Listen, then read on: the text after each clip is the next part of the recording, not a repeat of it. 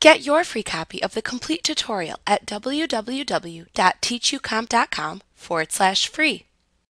You can set up service items in the item list for services that you provide. This helps you avoid repeatedly typing line item information into sales forms. Like all items, you create service items by first opening the item list. To create a new service item, then click the Item button in the lower left corner of the item list window. Then select the New command from the pop-up menu that appears. In the New Item window, then select Service from the Type dropdown. The fields that appear in the New Item window are similar to the ones shown when creating inventory part items. First enter a name for the service into the item name slash number box. If you want this service to be a sub-item of another service, then check the sub-item of checkbox and then select the main service item under which the current item should be categorized from the adjacent drop-down menu.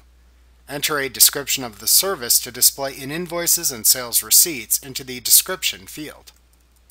Enter the rate for the service, set the tax code, and assign the amount to an income account by using the account dropdown. For services purchased and then applied to customer invoices, such as subcontractor labor, you can check the This service is used in assemblies or is performed by a subcontractor or partner checkbox to change the fields available. If checked, this changes the fields to resemble the ones used when creating inventory part items. In this case, you enter information for the purchasing aspect of the service into the field shown in the Purchase Information section.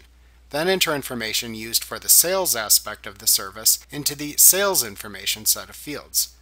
Doing this allows you to use the service item in both purchase and sales transactions if necessary. After you have created the service item, click the OK button to save the item into the item list. Like what you see? Pick up your free copy of the complete tutorial at www.teachucomp.com forward slash free.